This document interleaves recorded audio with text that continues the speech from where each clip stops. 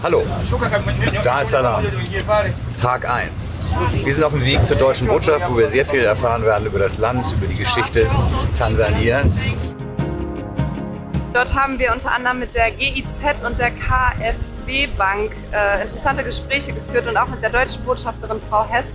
Äh, wir sind sehr dankbar für die Zeit und äh, haben einen tiefen Einblick in die Wash-Landschaft hier in Tansania bekommen und auch in die staatliche Entwicklungszusammenarbeit. Wir haben hier mit der deutschen Botschafterin oder mit der deutschen Botschaft zusammengesessen, äh, die uns halt ihre Aktivitäten hier in Tansania erläutert haben äh, und aber auch die Situation, die hier im Land herrscht. Und äh, das sind natürlich wichtige Rahmenparameter auch für die Stiftung, die zu beachten sind.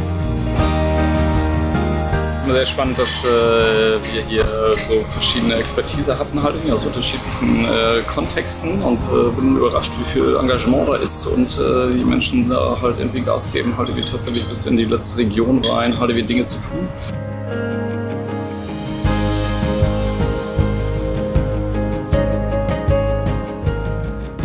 Wir äh, besuchen gerade eine Kirche, die hier errichtet wurde von deutschen Missionaren. Es sieht sehr schön aus, aber es hat halt immer einen Geschmack dazu, weil es nun mal die Thematik Kolonialismus äh, und nicht nur die Überbleibsel, sondern wie er immer noch äh, Einfluss hat, sehr auf den Teller legt. Wir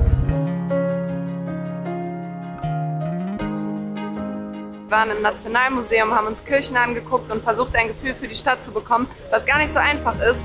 In einer Metropole wie Dar es leben hier, leben hier über sieben Millionen Menschen und werden jetzt den größten und wichtigsten Tagesprogrammpunkt angehen, nämlich wir besuchen jetzt unsere Partnerorganisation People's Development Forum, PDF, und machen dort ein, ein Introductory Meeting. Heißt, wir sprechen jetzt darüber, was machen wir diese Woche.